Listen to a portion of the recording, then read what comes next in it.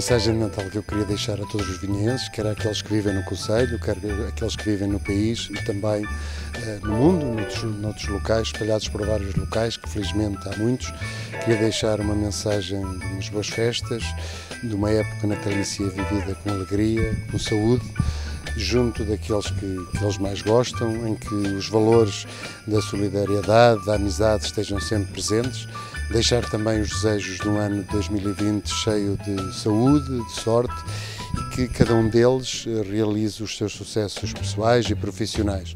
E dizer-lhe que da parte da Câmara Municipal tudo faremos para continuar a ajudar os vinhaenses, não só os nossos municípios, aqueles que vivem no Conselho, mas também outros que vivem noutros pontos do país e também no estrangeiro. Se tivermos forma de ajudar, cá estaremos para isso.